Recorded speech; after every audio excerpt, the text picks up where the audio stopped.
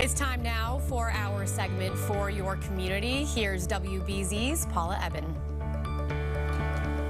Matt Herndon, uh, CEO of Schwartz. Tell us just a little bit about the background of your organization, and how you came to be.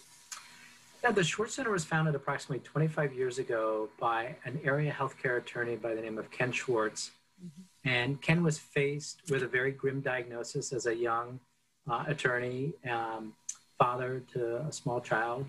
And um, he came to appreciate just the importance of the human connection uh, between uh, caregivers and patients through his journey as a patient mm. and decided that there needed to be a focus on compassion and healthcare moving forward. And that's really how we started. And, and we've really grown in a lot of ways since then.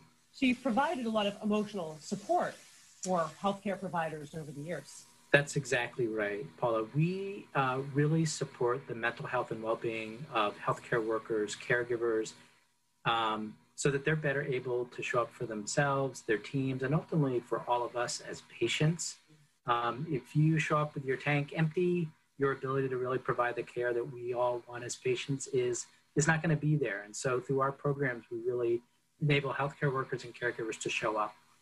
Obviously, for the last year, we have dealt with a health crisis uh, like never before in the history of the world. And so you quickly had to pivot to helping healthcare workers with these sessions that you do, but of course, they couldn't physically be together. Yeah, that's right. Um, our core program is known as the Schwartz Rounds, and it brings people together in group sessions to talk confidentially about really the emotional impact of caring for patients. How do you how do you fundamentally deal with a very sick patient and come back to work the next day after having experienced what you did? So we did have to pivot, and we we established virtual Schwartz Rounds. So these were conducted via um, Zoom and other mechanisms.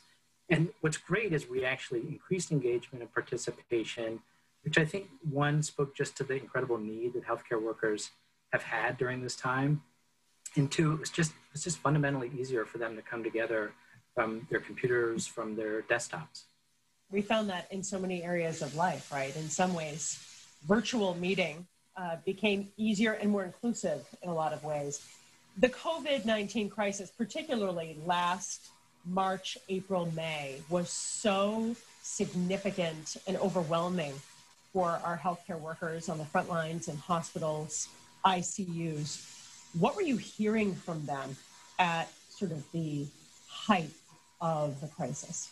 Yeah, I, I, I think we're, we've all heard a number of these stories since COVID, but just really incredibly powerful, moving stories of the challenges of, of standing in as family members in some instances, um, being that last person there, in, unfortunately, in the case of some patients who didn't make it, and um, just incredible sense of um, pain and anxiety, not only in terms of dealing with patients, but concerns about bringing COVID home to their family members, to their loved ones, and just how to really juggle those emotions. And so our programs attempted to help caregivers navigate those emotions.